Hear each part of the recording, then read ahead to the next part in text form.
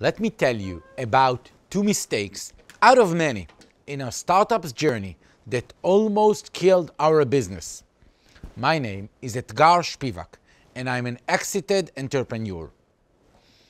I have trained thousands of marketers, managed campaign in tens of millions of dollars. My startup is an alumni of one of the best startup programs in the world, Techstars in Atlanta. And today, I'm a mentor at Techstars Tel Aviv. I've been chosen by PPC Hero, the leading blog for hands-on digital marketers, as one of the top 25 influencers in the industry.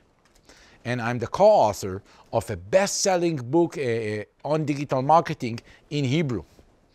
I'm an Ono Academy College alumni. Today, I'm leading two marketing divisions in the BA program in advertising and in the MA program in digital strategy. And yet, I know that I don't know enough because there never is enough. And I'm constantly learning from my mistakes, just like the one I will share with you right now. Back in 2018, I co-founded Fixel, a technology we built that allow marketers to understand which of the prospects have a higher probability of making a purchase on their website. Using this information, they could dramatically improve their online media investment. And we succeeded. By the end of 2020, Fixel was acquired by Logiq, a public US company. My first mistake? My discovery process was all wrong. Before we started Fixel, we wanted to validate that there is a demand for the problem we wanted to solve. I've reached out to my colleague, who were some of the best online marketers I knew, and I asked them, assume that you have a solution that identifies which one of your website visitors is interested in your products or services and improve your results from your media investment by 20 to 30%. Would you buy this product? They answered with a big yes. And when we launched, many of them bought our solution. But my question was all wrong. No one, especially experienced marketers, would say no to the question, do you want more money? The problem was that the tactic that we were focusing, campaigns that address people who visit their website, known as remarketing campaign, were already considered to have a good return on investment within their overall marketing mix. They didn't need to improve it. So my colleagues said they would buy it, but we didn't consider the importance of the specific tactic that we were using compared to all their overall marketing efforts we solved a problem that wasn't a significant pain for the majority of the marketers. We had a fantastic feature that works well, delivering results, but it wasn't enough for a standalone solution that could scale as we wanted. The reality is that most of the companies that don't solve real pains don't scale as much as they expected. What can you do in your discovery process? Define your potential clients and understand who is the person making the buying decision.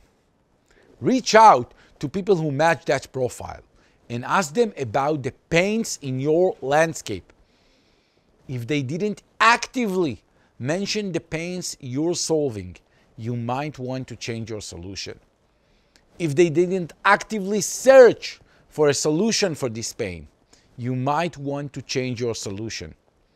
Small tip, don't talk about your solution so that you avoid any biases. To build a successful, scalable startup, you need to focus on real pains that companies are willing to pay to solve. My other mistake, if you have an innovative solution that doesn't have any competition, you need to worry about this.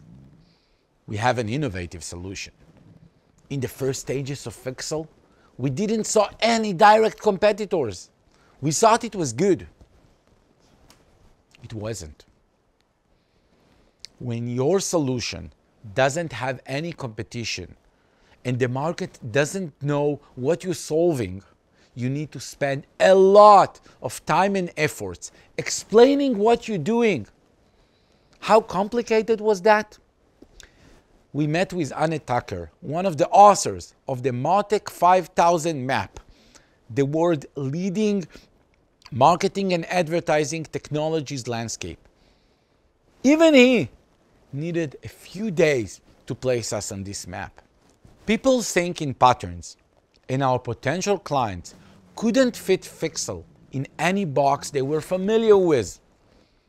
Not being very clear to our customers was a significant challenge in scaling from the early adopters to the majority of the clients. What can you do? Map the market you're in, understand where you fit in, and communicate your solution simply and easily in words your clients understand you need to explain exactly what you're doing and your competitive advantage in less than one minute. If you need to remove some of your solution's features to simplify it for your customers, do it. Remember, it is more important to make people understand what you're doing than to have the best product in the world, which might be too complex to explain. Thank you very much.